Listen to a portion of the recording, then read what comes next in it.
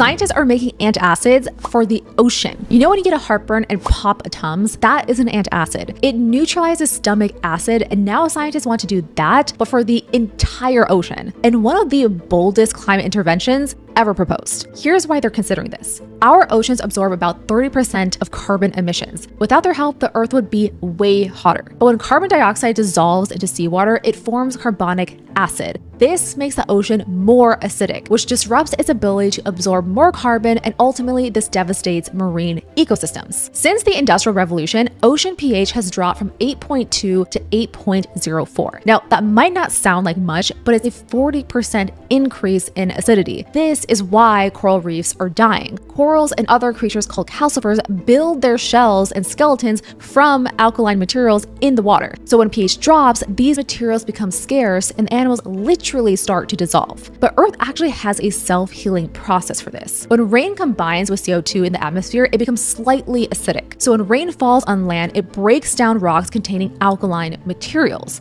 Rivers then carry these minerals to the ocean, replenishing their alkalinity. But human activities are now outpacing Earth's natural resilience by orders of magnitude. That's where ocean alkalinity enhancement comes in. Scientists propose adding alkaline substances like sodium hydroxide or crushed minerals to seawater to restore its chemical balance. And in September 2024, researchers did exactly that. They pumped about 16,500 gallons of sodium hydroxide into the Gulf of Maine, tracking it with red dye. This was part of the LOC-NESS project, locking ocean carbon in the northeast shelf and slope. Really rolls off the tongue. If it works, the ocean could absorb more CO2 and store it for thousands of years. But it's not as easy as popping a Tums into the ocean. Dr. David Ho puts the scale in perspective. Actually alkalinizing the entire ocean would be, quote, the single largest thing humanity has ever done. That's partially why this is controversial, but also because we don't fully know how large-scale alkalinization will affect marine life. Plus, adding too much alkalinity too fast can have the total opposite effect. It can actually lower pH and make the ocean even more acidic if not done right. So the consensus at the moment is instead of tackling all oceans,